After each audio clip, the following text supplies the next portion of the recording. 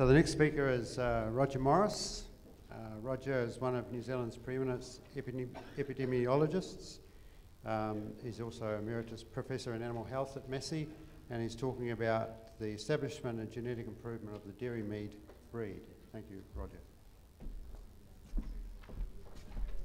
Thank you, John.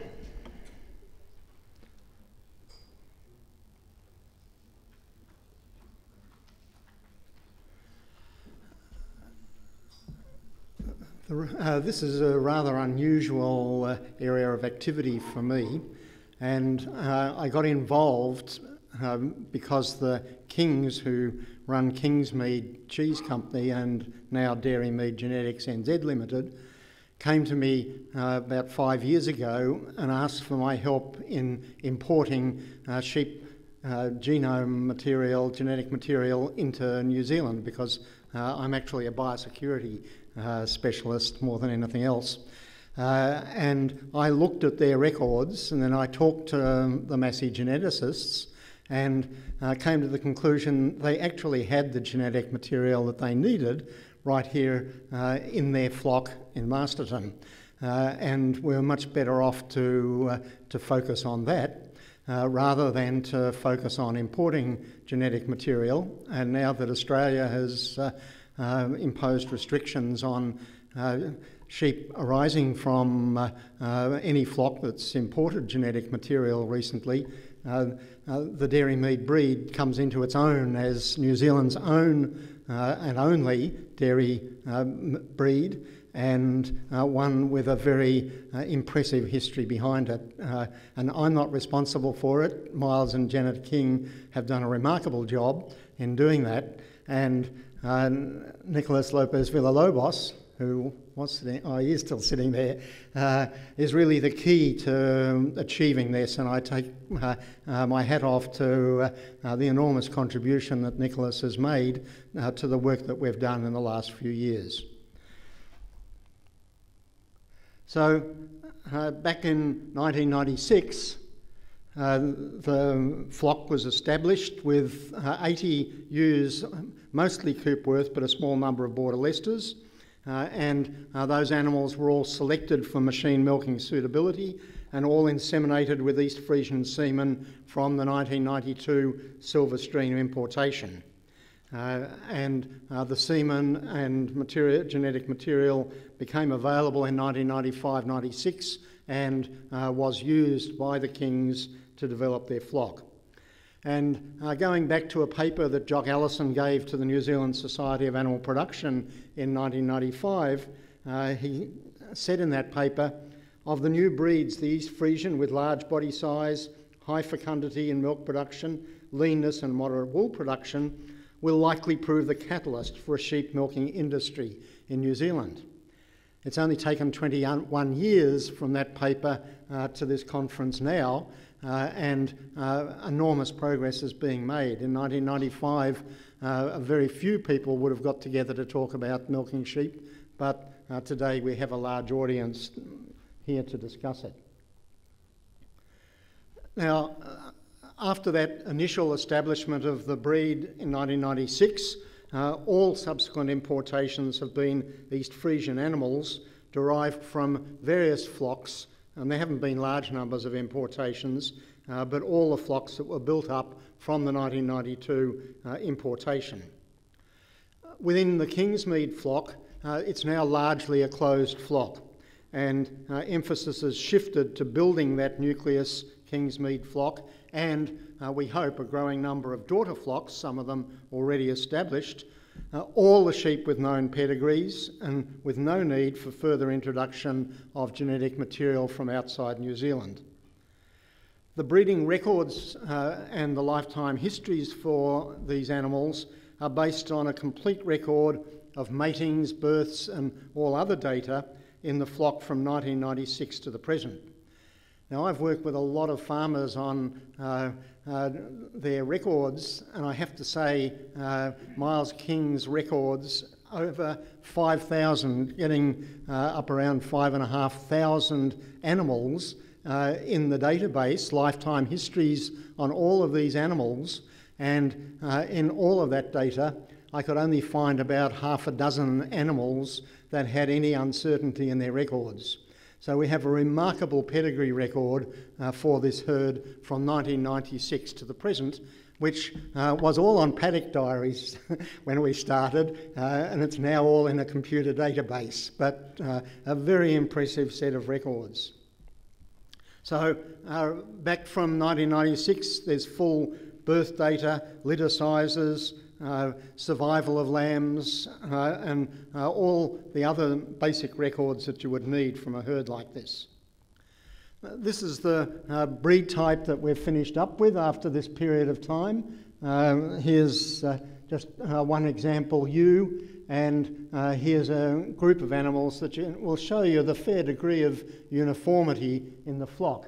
the one interesting feature here is these black with white uh, blazes animals that uh, emerged from the population. Uh, in Europe, there's a, a, breed called the Zwartbles, uh, which looks exactly like this. And in Wales, there's a mountain sheep that looks exactly like this.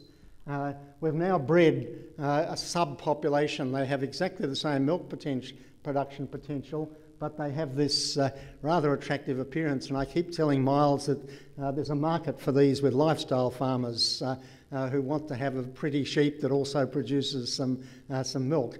But they're perfectly good. Uh, we just have this sub flock now that has been bred to maintain the, the colour pattern as well as the predominant white colour pattern in the sheep.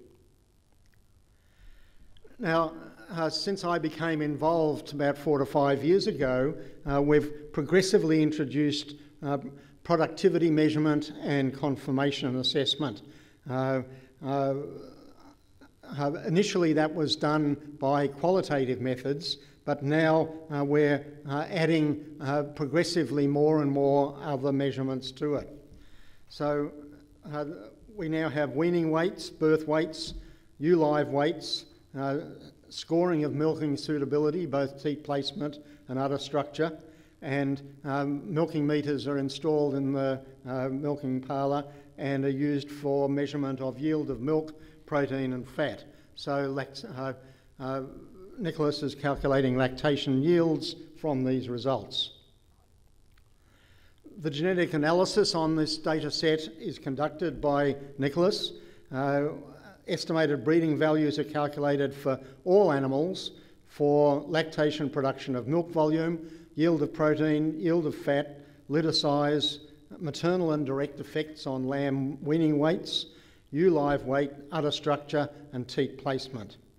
And uh, over the next few years, as we get more and more data, the reliability of all these estimates will progressively uh, grow as we get more and more animal records into the system, and uh, we anticipate adding more measurements over time. We then have estimated breeding values for each of the factors of, uh, uh, of interest, and uh, we are combining these in something called the Dairy Mead Breeding Index.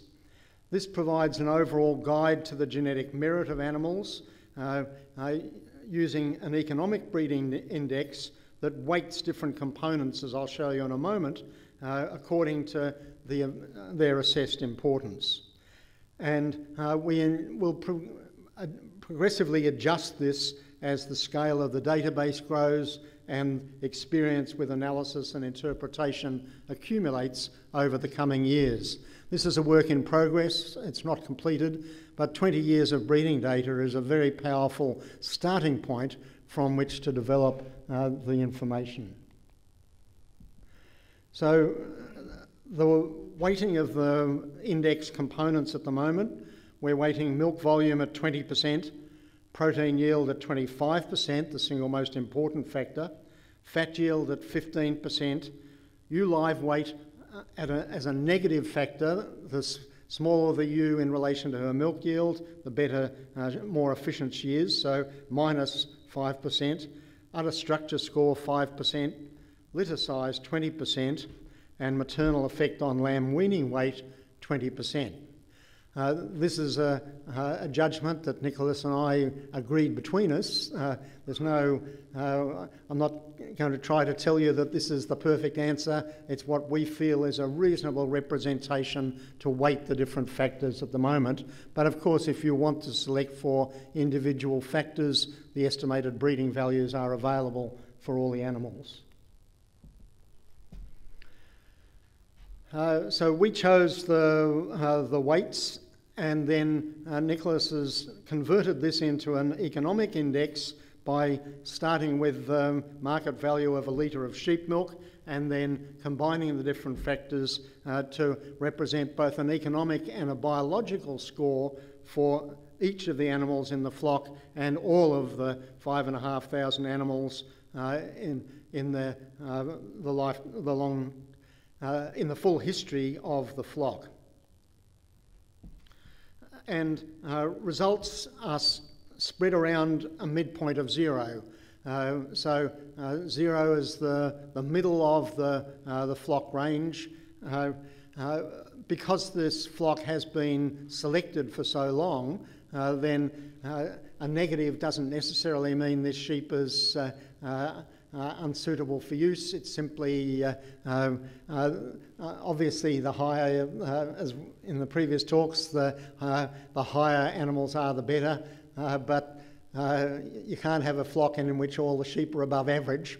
So we have to accept the fact that with the amount of selection that's gone on this, in this flock, negative sheep are uh, better uh, than many other flocks in the country, and the top sheep in this, some with scores of plus 500, uh, over 500 on our scoring system, uh, are exceptional animals.